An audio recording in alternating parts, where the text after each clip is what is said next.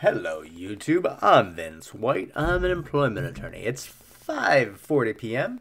on Friday the 23rd, and I'm making a video for Sunday because uh, I still have some calls to make. It's gonna be a late one. It's gonna be a late one. All right, on this channel, we answer publicly posted questions from YouTube users, getting folks the answers they need from an employment attorney. Also, on this channel, we have crazy hair, apparently. We have a question here from YouTube user Dantana Slim. Dantana Slim, what a name. Who asks us, Hi Vincent, if the vice president from the company where I work told me in a one to one meeting that I deserve a 5, which I presume is the highest rating, in my annual annual review, and then I later submitted my disability discrimination claim and he denied saying it and he actually gave me a 4 and I have the original re- conversation recorded, can this be part of my lawsuit? Okay, so a couple of things to think about there. And this is going to be a conversation you have with your attorney. so that individual, that vice president, may not have been discriminating against you because that vice president was saying you should be rated a five, the best of the best, as good as it gets. Now, he also may be, right? Somebody might think you're amazing at your job, might even say that and still engage in discrimination. I'm not saying that this vice president isn't guilty or not guilty. Part of your claims, not part of your claims. Obviously, I don't know. I don't know anything about your case. Um, and also, it looks like this came before the disability discrimination, so maybe maybe the vice president wasn't even aware that you needed accommodations or that you had a disability. So there's a lot going on there. But if he was aware that you had a disability and needed accommodations at the time when he gave you the five review, that may not be fantastic in all scenarios. In some scenarios, it may not be fantastic for your disability discrimination case if you're pointing at this vice president as one of the bad actors. Because you're going to go through all the work of proving this guy gave you a 5 out of 5 as high as it can be, as good as it gets. Blessed, right? Like like he, he's he's speaking very well of you. He's giving you the, the finest rating you can possibly get, and if you're saying, well, he's discriminating against me, and you go through all this effort of getting a recording admitted to evidence so you can prove he gave you a five. Well, that does have some negative impact on your narrative that he is the one discriminating against you. I don't know if that's what your narrative is, but if it is, that's something to think about. Now, if what's actually going on here is you have other people who are the bad actors in your case on the disability discrimination front, I'm guessing they might have failed to accommodate you or targeted you on the basis of your disability. It could have been someone else, right?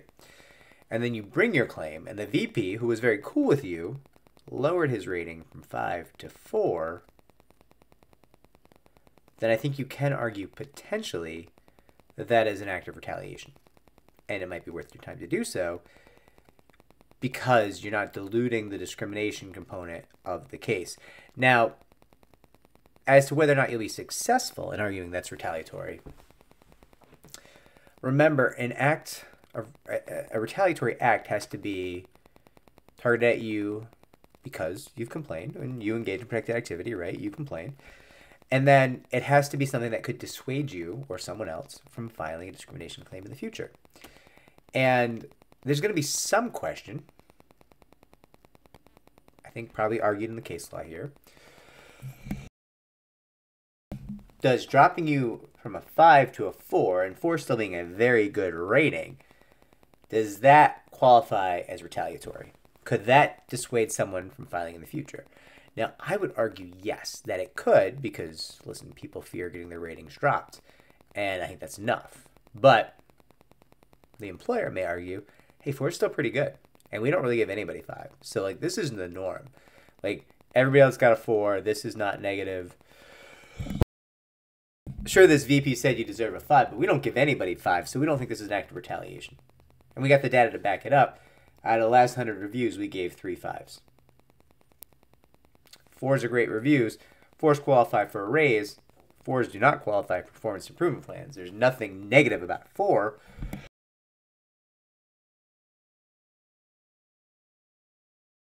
So we don't think that giving you a four would qualify as retaliation because we don't think it would actually dissuade someone from engaging in the protected activity of complaining about discrimination. Is that a good argument? It's the best argument available to defense counsel based on what I know right now.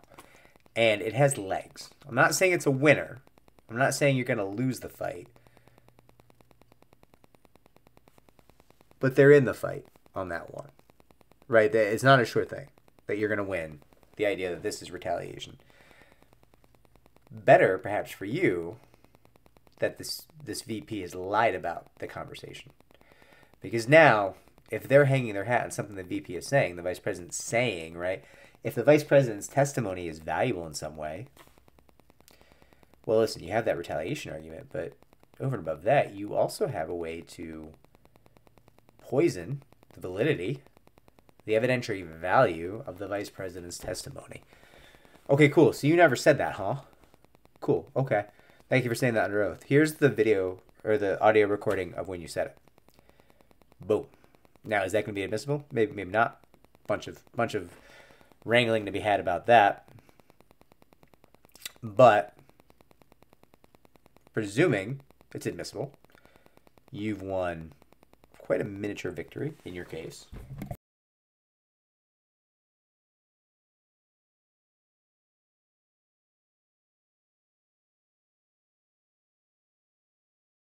I apologize. And even if it's not admitted, let's say you go to court and you try to admit this this recording, and the other side jumps to their feet and they fight you, and they're like, "Judge, judge, we need to approach the bench. This should not be admitted. Don't put it in front of the jury." Awesome, because now you just heard the jury. Uh, the jury's just heard you trying to give them the best evidence possible, which is an audio recording.